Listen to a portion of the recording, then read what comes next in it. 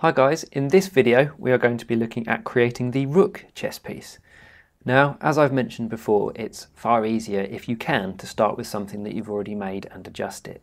So in a similar way to I've done before, I am going to use my pawn model, so I'm just going to nip back into there, okay, and I'm going to use this to make an adjustment, okay. Now what I'm going to do, um, just to use this as reference, I'm just going to move it over to the side actually and copy and paste. And then I've got two okay? So that by double clicking I shall just name pawn. And by pressing the up arrow a couple of times it allows me to get to the lathe NURBS, which I shall now label rook. Okay and that just allows me to use that as height reference a little bit later on. So using this spline and what I have before, I'm just going to go to my side view and I'm going to edit my spline here. So using the points tool, using the selection, I'm just going to select the points that I no longer want, okay, and press delete. Now, it's nice to get rid of them, so I'm just going to have a look at those and I'm going to sort of look at the height of my pawn model and how much I want the rook to be taller, so about there-ish. Okay, I'm just going to create, select that inner one, and I'm just going to move it out. Okay, so we get a much steeper curvature. I just adjust that. Obviously, this is all largely down to how you want your chess pieces to be or how your chess pieces are going to look depending on the references that you've got. I'm just going to turn the lathe NURBS off so I'm just left with the spline. What I'd really like to do at this point is add some more geometry, some more spline to the end so that I can just carry on up. But if I command or control click, you can see that I can add the geometry, but it adds it from that end.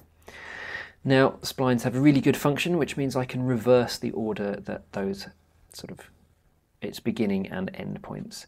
So if I go up to mesh and then spline, I can reverse sequence.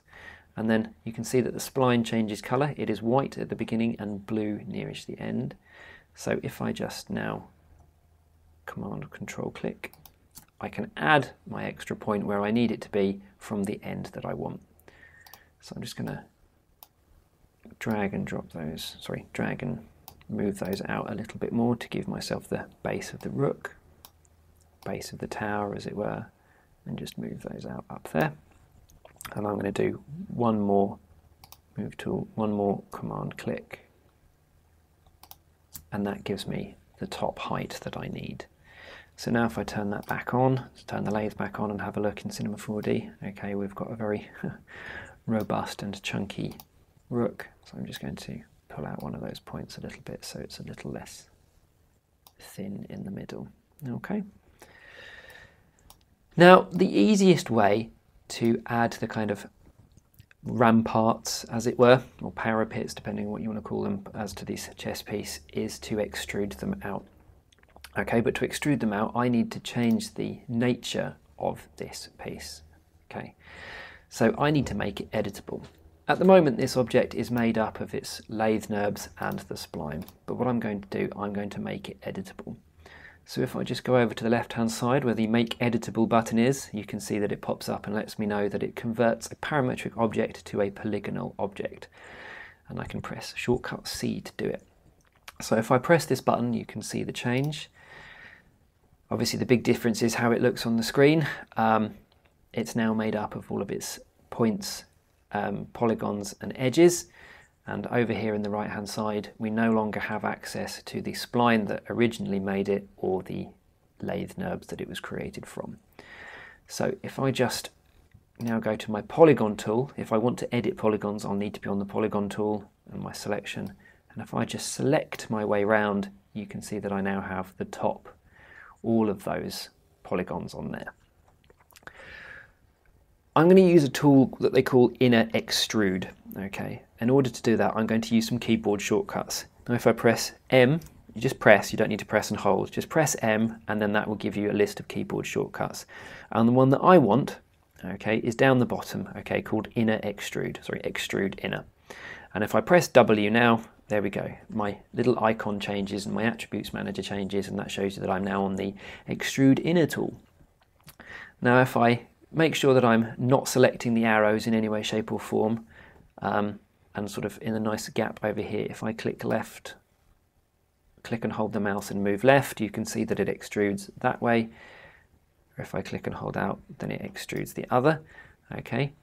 One of the things I did notice just then is that as I click in, you can see that we get that central point so that we get a few more in there. Okay. Now, what this creates is a nice ring around the outside that would allow me to extrude um, the little sort of parapets up. Now, I'm going to need to select most of them um, and deselect some. So the easiest way of doing that is use a ring select. So again, using the keyboard shortcuts, if I press U, that brings up the selection uh, shortcuts, and the ring select is B. Okay, so now if I hover over one of these edges, you can see that it will select a ring. Obviously, that would select all the way around the outside, but that is the ring that I want it to select. Okay, so now I have those polygons. Going back up to the Move tool, I am just going to Command or Control click and I'm going to get rid of every fourth one. And that shows you that I then have nice six sort of areas selected. Now I need to extrude them up. And to do that, I need to get the extrude tool. So again, keyboard shortcut, if I go to M, and then I've got T for extrude, press T, my icon changes again. And then if I click and hold the left mouse button, you can see that if I drag right, it goes up. If I drag left, it goes down. Obviously, up is the direction I need it to go in. Okay, and there we go. And that, as you can see, gives me a really nice sort of rook piece. If you want to change that or edit that, I can now just use the green handle and I can move those polygons up. You can say that actually moves the polygons I have selected. If, for example, I wanted more geometry and I wanted to extrude again, I could click left, drag left to right, and you can see that that gives me an extra layer, an extra ring, as it were, of polygons. Okay, well, that's the rook created now. So I will see you again in the next video.